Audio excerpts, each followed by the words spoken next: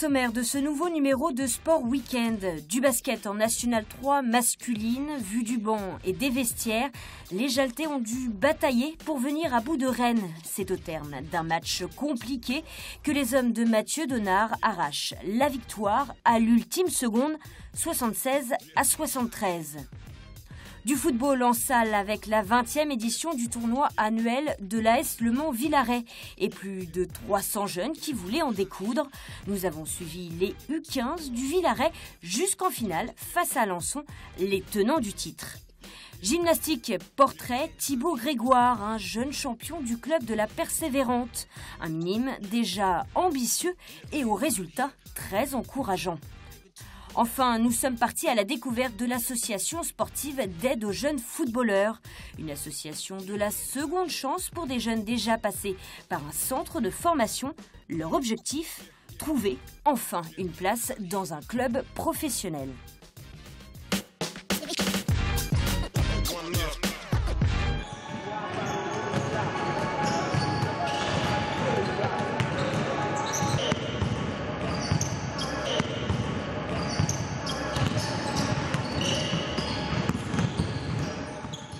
C'est un match euh, à enjeu parce que Rennes et nous, nous avons le même match, 5 euh, victoires, 5 défaites. Donc euh, celui qui passera ce soir remontera vers, vers le haut du classement et puis celui qui perd malheureusement fera attention à ne pas se faire rattraper par les autres. Donc oui, un peu de stress ce soir avant d'aborder un mois de janvier capital avec un match à l'Amiens de Nantes la semaine prochaine, un autre match Carquefou, un gros mois de janvier. Donc ce match ce soir euh, va conditionner notre, euh, notre mois de janvier. Donc espérons la victoire pour la Jalte. Bien. Ce soir, c'est déjà un tournant. C'est déjà un tournant dans la saison parce que c'est le dernier match de la phase allée. Et c'est un tournant parce qu'après, derrière, on sait vers quoi on doit se projeter. Soit on se projette vers le haut du classement, et ce sera très bien, et on pourra se fixer de nouveaux objectifs, des objectifs à la hausse, des objectifs forts, de conviction, de se dire qu'on est capable d'aller chercher des gros, des grosses équipes comme Carquefou, comme Nantes, comme Laval, comme Fougères. Et ce match-là, il est déterminant parce qu'aussi c'est chez nous, que c'est la rentrée, qu'il va y avoir un peu de monde, des sponsors, des gens qui vous encouragent. Et pour le coup, c'est important de bien commencer cette nouvelle année 2016 pour une grosse victoire. Cette équipe de Rennes, il y a trois joueurs importants, Perrin Spate et j'en ai rajouté un troisième, donc qui est Schmidt, qui n'est pas là ce soir, mais malgré tout, il faut être vigilant. C'est qui n'est pas là qui pas là, pardon, excusez-moi.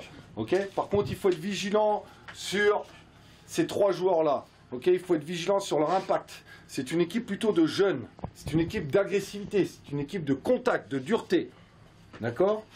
Attention sur leur zone presse 2-1-2. On a une organisation précise par rapport à ça.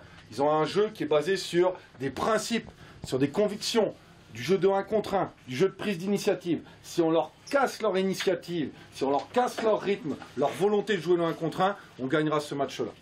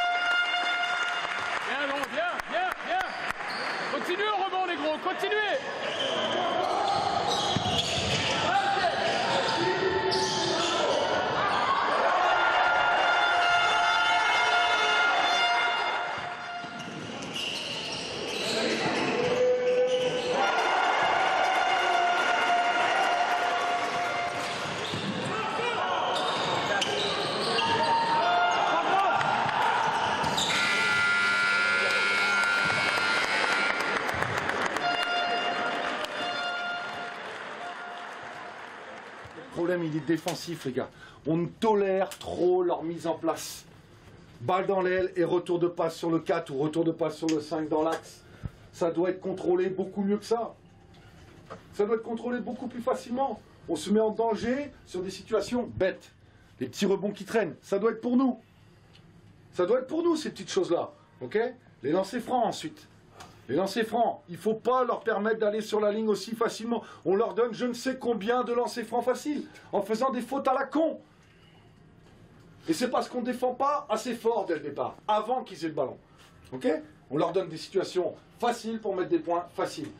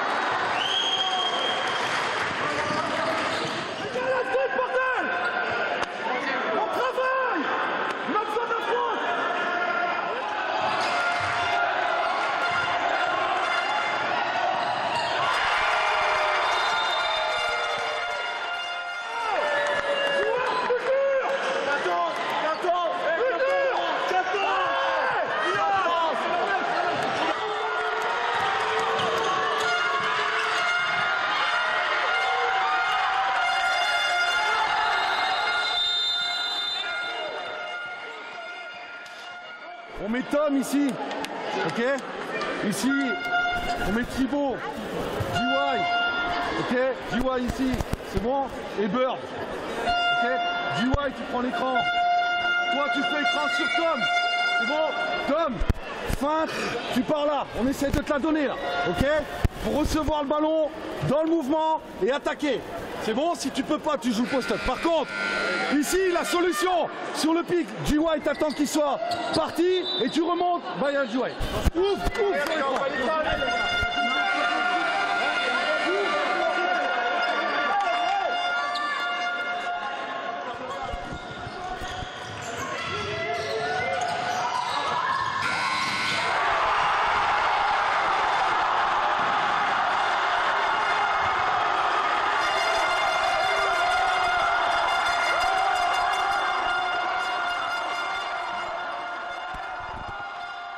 C'est une fin euh, un peu inespérée, mais bon, on gagne le match, c'est essentiel.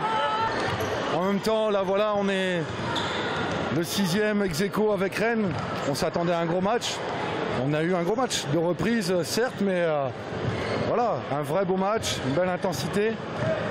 J'ai trouvé qu'on a joué euh, avec justesse en première mi-temps, beaucoup de justesse. Sur la deuxième, il y a un peu de fébrilité, notamment dans les transmissions de balles, dans le, sur leur zone notamment. Après, je trouve qu'on a par contre mieux défendu, mieux contrôlé leur jeu de percussion. Voilà, après c'est un shoot énorme, ça fait du bien. Ça fait vraiment du bien de commencer comme ça. Maintenant, il faut se projeter vers l'avant. C'est un gros ouf de soulagement parce que vous avez vu un panier au buzzer qui fait gagner le match, c'est toujours compliqué. Je l'avais dit au début du match que ça aurait été un match euh, jusqu'au bout euh, indécis avec deux belles équipes. Et puis euh, la, balle, la pièce est tombée du bon côté ce soir. Tant mieux, ça va inaugurer, ça va inaugurer j'espère, un beau mois de janvier avec euh, prochain match à domicile Carquefou. Les gars sont là, donc c'est le principal. Donc euh, je suis très très content.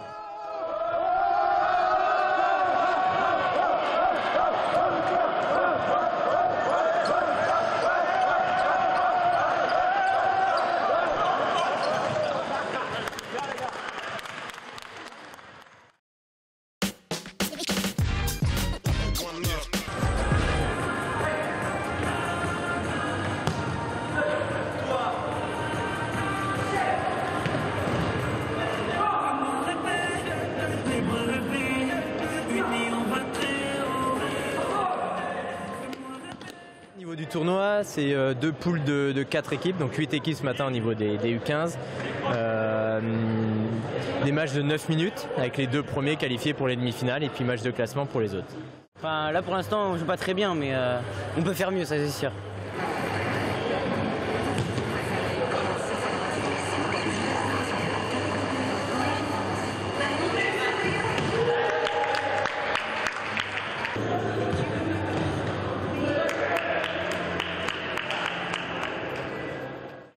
U13 et U15 avec une moyenne de 10 à 12 équipes par, par catégorie. Alors le prochain match, euh, nous aurons Le Mans-Villaret contre euh, Nord-Est Manceau. On repart comme le premier match, on avait commencé donc Mathis, Ervan, Gonzague et Ben et Clément. Ok? Et puis pareil, on tourne comme ça. 3-0 Et on les met devant, on les met. Hein.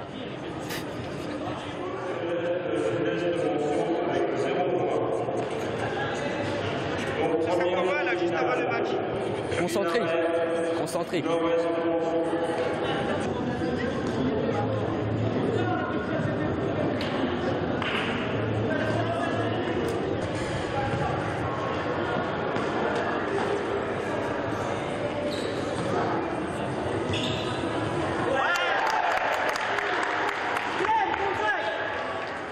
Bah, ça part d'une euh, contre-attaque. Mon coéquipier qui était sur le flanc gauche, il frappe. Et, euh, et moi, je la coupe pour qu'elle rentre dans les buts.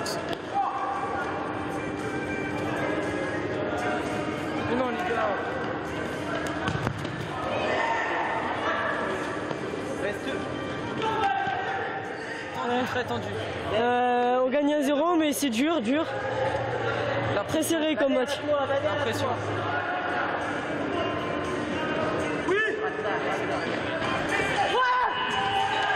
Victoire des Villaret au cours de cette première demi-finale. Victoire Bien joué les gars.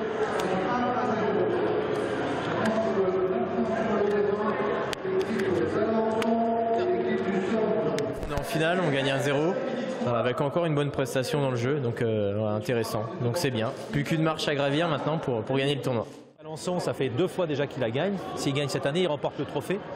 Donc euh, nous, ça nous arrangerait bien qu'il reste un petit peu chez nous, quoi. D'accord Hein, Vous faites le maximum, et en tous les cas, euh, voilà, prenez du et prenez du plaisir. Prenez du plaisir. Fabrice, on l'a gagné combien de fois, ouais, nous Ah, nous, en 15 ans, on a dû le gagner euh, trois fois de mémoire, et on a dû faire au moins 6, 7, 7 8 finales. Voilà. Ah, peut-être. ouais. C'est sa première. Collectif, plaisir, d'accord Effort, collectif, plaisir. Ça marche Allez, bonne finale. Bon match Allez, bon match les gars On commence avec Bader, Ervan et euh, Clem et Ben devant.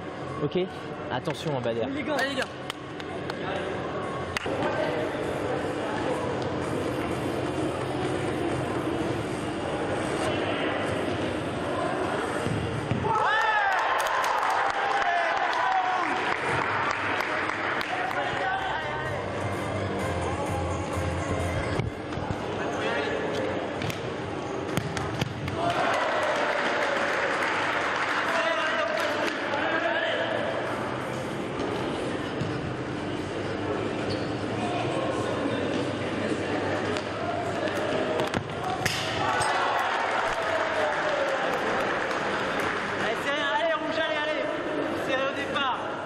Allez, vous arrêtez pas Bien joué, Baptiste, t'es seul, t'es seul Allez, 3 contre 2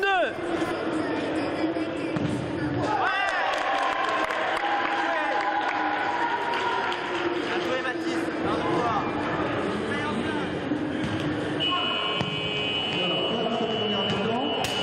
par 2 à 2. Donc Gonzague à la place d'Ervan et Hippo à la place de Ben. Attention, attention, hein. Allez les serrer tout de suite. Si vous leur laissez 2 mètres, ils arrivent lancés, techniquement c'est des bons joueurs. Par contre, sur le temps de passe, on vient serrer ils se retournent pas. Ok Allez, on continue. Allez, de l'autre côté, on va.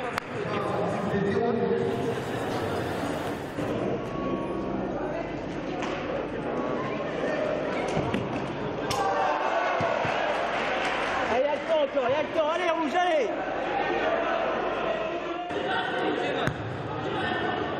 Allez, faut aller là-haut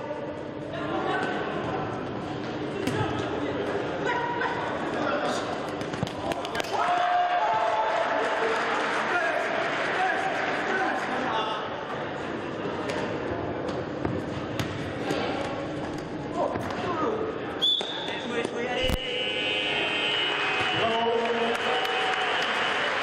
bravo à l'équipe d'Alençon pour sa victoire. Pas grave, t'inquiète. Euh, par 4 à 2 sur l'AS Villaret. Donc, Aucun regret, on a fait tout ce qu'on pouvait. C'était une très belle finale. Je marquais un but, je suis assez content, mais euh, on avait un objectif, c'était la finale, on l'a atteint. Voilà. On aurait pu, on, mène 2-2. Et après, on, a, je pense qu'on a un peu lâché. On voulait aller au penalty, je pense.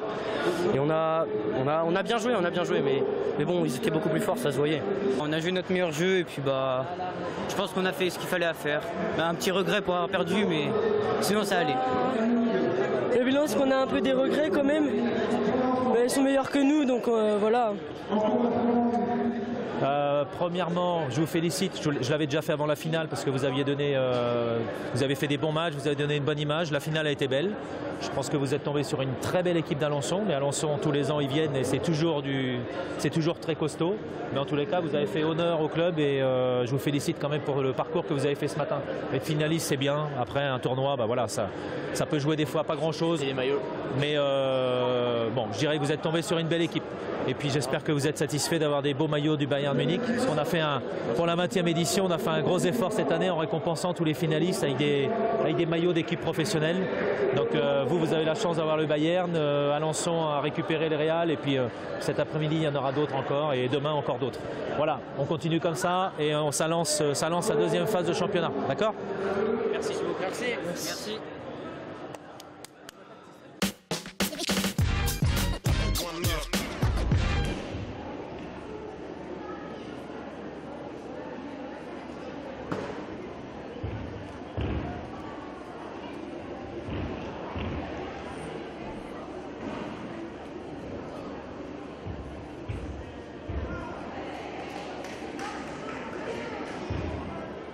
Je m'appelle Thibaut, je suis gymnaste à la Persévérante Le Mans.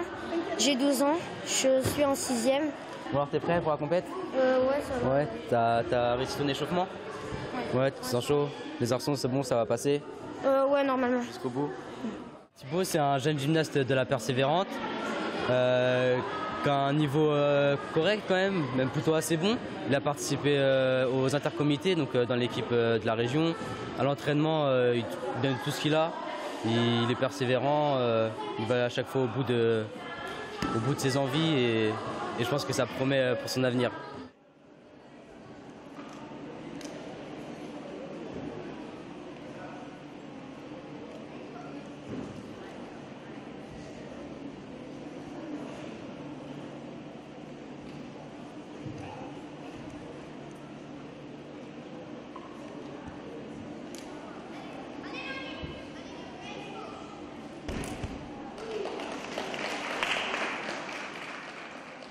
Thibaut est très investi euh, dans la gym, euh, c'est son passe-temps euh, favori, il fait trois entraînements par semaine.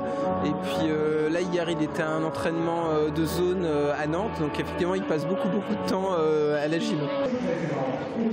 Thibaut passe sur un agrès qu'il aime bien, c'est le sol. Donc effectivement il, il aime bien cet agrès parce qu'il est, il est relativement souple et et, c'est un exercice qu'il aime bien. Ça demande pas mal de technique et, euh, puis euh, et puis pas mal de, souplesse. Donc effectivement, c'est un, un, agrès euh, où, il, réussit particulièrement bien. Maintenant, il est arrivé à un niveau où il arrive à, combiner des, des, phases intéressantes. Donc effectivement, c'est un, un, programme qui est plutôt, plutôt agréable à suivre. Donc là, apparemment, son coude a l'air de, tenir parce qu'il se plaignait de son coude encore ce matin. Donc euh, ça n'a pas l'air de le, handicaper trop pour l'instant.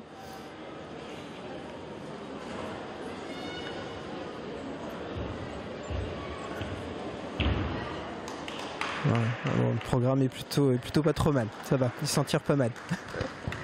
Donc satisfait alors de son passage Oui, plutôt satisfait de sa prestation. Euh, euh, en plus, avec son problème de coude, euh, effectivement, je pense qu'il n'a pas trop forcé non plus. Mais je pense que globalement, il n'a pas fait trop de trop d'erreurs. par contre, tu bouges pas assez les. Ouais. Après, ça te, fera, ça te fera remonter beaucoup de points. Hein. Ça, tu te prends entre 3 et 5 dixièmes chaque fois. Les choses à améliorer, ce serait sa concentration avant chaque passage, euh, il, est, bon, il est assez jeune encore et il, est il a envie de discuter avec ses copains, avec ses amis à la gym. Donc de temps en temps, il n'est pas tout le temps concentré et son travail n'est pas tout le temps performant. Mais c'est normal, euh, il est très très jeune. Et quand, quand on arrive en fin de journée, on peut être fatigué, on a envie de, de aussi de s'amuser et pas tout le temps être dans la performance.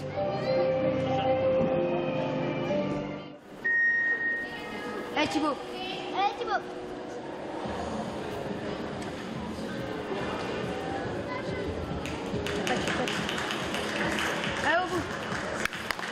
Allez Thibaut C'est bien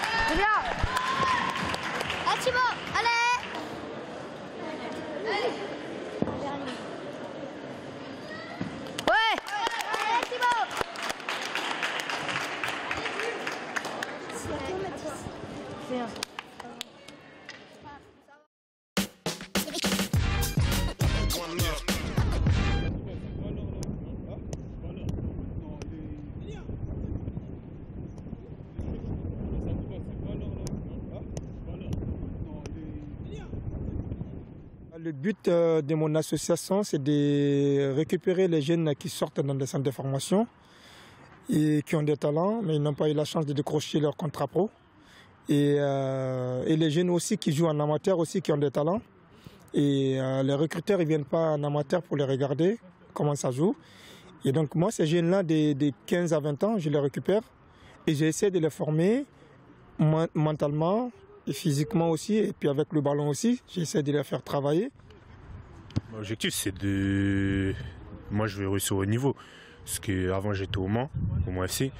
Puis j'ai eu quelques soucis, donc euh, je suis plus aujourd'hui. Donc là, je recherche un club.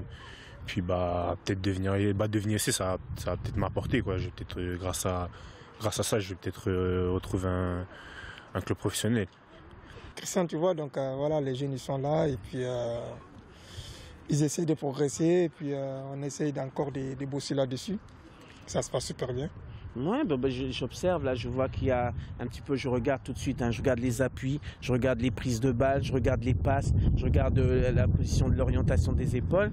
Bon, je, ne les connais pas tous encore, hein, mais je, je vois que pour certains, bon, il y a, il y a du talent et on, on sent qu'il y, a des- il y a des aptitudes à, à jouer au football, c'est sûr.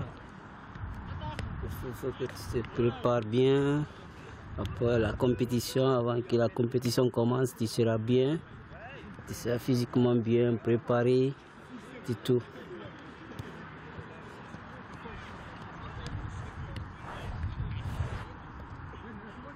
Allez, c'est parti. Soyez mobiles sur vos appuis. Ouais. Suite, ouais, enchaîne. Ouh là là. Oui. Prise d'info, hein. Allez, allez, les gars. Faut prendre l'info avant de jouer, hein, avant de la recevoir, voire avant de recevoir. Sinon, c'est pas bon, c'est pas correct. C'est parti. Ça enchaîne. Allez, Yann. Une touche. Ouais. Oui. Oui. Bien joué.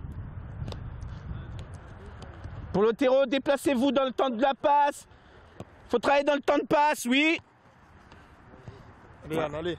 Ça change. Alia est venu me, parler de son association. Déjà au départ, c'était une volonté. L'association n'existait pas. Donc il est venu me, parler de son projet. Et je l'ai encouragé euh, dans ce sens parce que c'était un projet euh, novateur hein, au Mans. On n'avait pas, ou dans la Sarthe en général, il n'y avait pas ce genre d'association.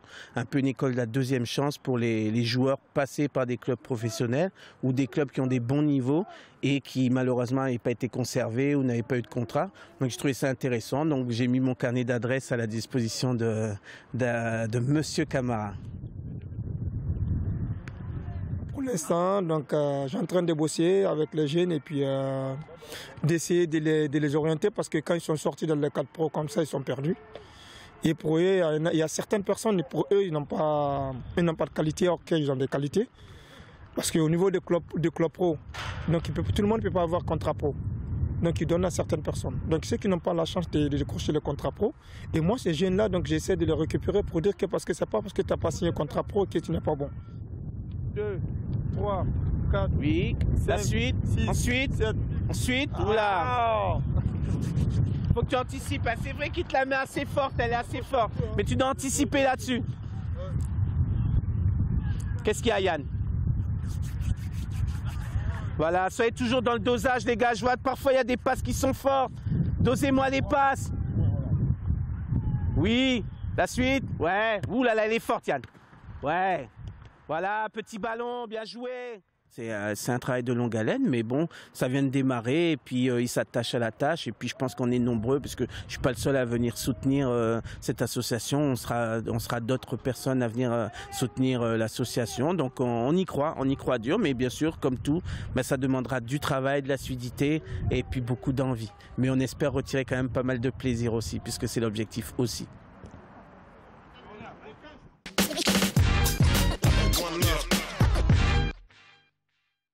Eh bien, il y, a, le samedi matin, ce sont toutes les courses scolaires, il y en a 52, départ toutes les 7 minutes. L'après-midi, il y a le 10 km de la ville du Mans, Crédit Mutuel. Et puis euh, après, dans l'après-midi, à, 20 à 15h, 15h30, euh, oui, 15h30 par là, il y a le 20 km Melfort. Ça, c'est vraiment les gros, les, gros points forts du mardi. Le, dimanche matin, il y a toutes les courses concernant euh, euh, les courses FFA. Il y a les courses handisport. Et puis, il y a bien sûr la balade euh, des invités qui attire euh, tous les véhicules du coin, qu'on invite, bien sûr, avec une course formidable, puisque beaucoup, beaucoup de débats au niveau des huîtres. Du... Mais c'est là qu'on cause beaucoup et qu'on a beaucoup, beaucoup de, tra- de- de travail, parce que les gens parlent et ils, nous apportent des idées. Après ça, il va y avoir donc euh, l'après-midi encore des courses FFA et surtout la course des As, hommes et femmes, où on verra un peloton maigre, mais cette année, on a invité que des grands champions, c'est-à-dire que ceux qui vont courir, ce sont tous des athlètes de très très haut niveau. Je dirais que chez les filles, on va vers une victoire euh, kenyenne, mais il y a quand même euh, les championnes d'Europe françaises qui vont être là, idem pour les garçons. On ira plutôt vers une victoire et un gros duel entre les meilleurs Français qui sont champions d'Europe. Je le signale, ils seront là euh, contre euh, les- les Africains. Et là, il y a des Kenyans, dont un champion du monde junior qui, qui va bien parler.